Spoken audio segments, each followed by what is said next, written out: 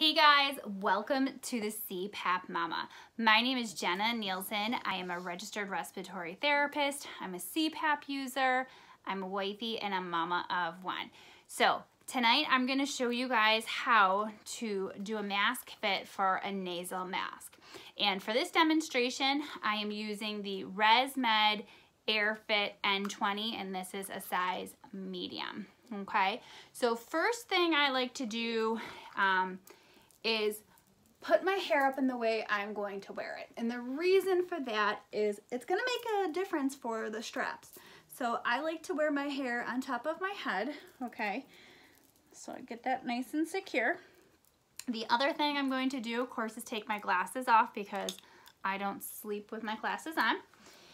Then the third thing what I like to do is turn the machine on. The reason I turn the machine on is if there's any dust particles in the tube that gets out. I also personally do not like putting my mask on without having air blowing. It makes me feel very claustrophobic. And then the main reason is I feel I get a better seal um, with having the pressure on. So I'm gonna go ahead and turn my machine on. Okay, so there you hear the air blowing. What I'm gonna do is I'm gonna take the headgear in my left hand and I kind of flip my mask back, place the cushion securely to my face, pull the headgear up and over.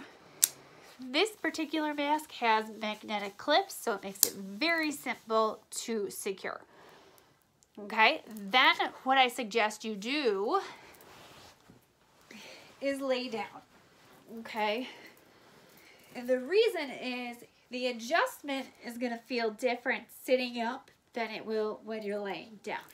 So I lay down, get my pillow nice and comfy. If I feel leaking up here in my eyes, I'm gonna adjust these top straps here, okay? Any leakage on the upper lip, I would adjust these bottom straps here, okay?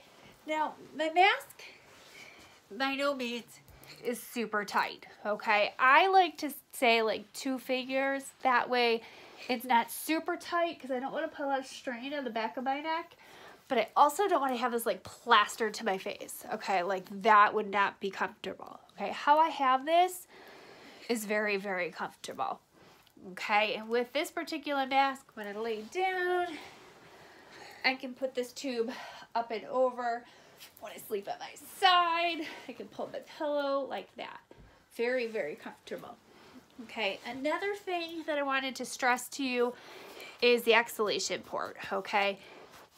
Right here is the exhalation port. You're gonna always feel air coming out. That's completely normal. Reason for that is when we exhale, we exhale out bad gases. And so that's where those are released. So you'll always feel that. And you know, if you push up against your pillow, you may hear it as well. Okay, so you guys, that's how you fit this particular style mask. Again, it's a nasal. Uh, so I hope you guys enjoyed this video. Please subscribe. If you have any questions, drop a comment below. Hope you guys have a great night. Happy sleeping. Bye-bye.